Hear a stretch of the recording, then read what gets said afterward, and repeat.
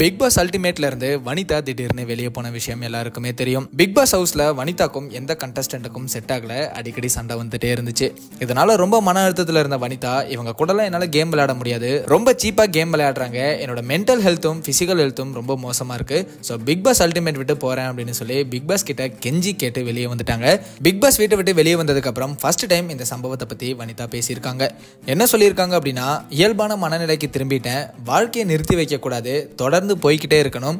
என்ன யாரெல்லாம் பிடிவாதக்காரி பொறாம பிடிச்சவ ஆட்டிடியூட் காட்டுறவ அப்படின்னு நினைக்கிறாங்களோ அவங்களுக்கு இதை நான் சொல்லிக்கிறேன். ஆமா நான் அப்படிதான் நான் ஆட்டிடியூட் காட்டுவேன். அப்படி இருக்கிறதுக்கு எனக்கு தகுதி இருக்கு. முடிஞ்சா டீல் பண்ணிக்கோங்க இல்லைனா பண்ணாதீங்க. அது உங்க பிரச்சனை எனக்கு பிரச்சனை இல்லை. ஆமா நான் எனக்கு தான் முக்கியத்துவம் கொடுப்பேன். இருக்கிற சந்தோஷத்தை இதெல்லாம் நான் கண்டுக்கிறது இல்லை. என் பொண்ணு எனக்கு ஸ்நாக் பண்ணி கொடுத்துருக்கா. இதுதான் நான் இருக்க வேண்டிய இடம். ஹேண்டில் பண்ண முடியாத அளவுக்கு என்னை சுற்றி அன்பு இருக்கு அப்படின்னு ரொம்ப எமோஷனலாகவும் அதே சமயம் போல்டாகவும் வனிதா அவங்களை நோக்கி வச்ச கேள்விகளுக்கு பதிலடி கொடுத்துருக்காங்க. கமல் சார் பிபி அல்டிமேட் விட்டு விலக அப்புறம் இனிமேல் ஹோஸ்ட் எஸ்டிஆர் தான் அப்படிங்கிற தகவல் வந்துச்சு.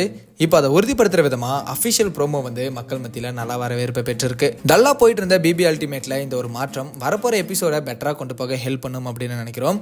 ஆடியன்ஸ் பலரும் எஸ்டிஆர் எப்படி இந்த ஷோவை ஹோஸ்ட் பண்ண போகிறாரு அப்படின்னு ரொம்ப எக்ஸைட்டடாக இருக்காங்க. நல்லா பண்ணாரு அப்படின்னா பிக் பாஸ் சீசன் சிக்ஸுக்கும் சிம்பு ஹோஸ்ட்டாக வர அதிகப்படியான வாய்ப்பு இருக்கு. வெயிட் பண்ணி பார்க்கலாம். வனிதா பிபி அல்டிமேட் விட்டு போனது அண்ட் எஸ்டிஆர் புது ஹோஸ்ட்டாக வந்திருக்கிறத பற்றி நீங்கள் என்ன நினைக்கிறீங்க அப்படிங்கிறத கமெண்ட்டில் சொல்லுங்க. அண்ட் இந்த மாதிரி அப்டேட்ஸ்க்கு ட்ரெண்ட் ஆக்சனோட சப்ஸ்கிரைப் பண்ணுங்க.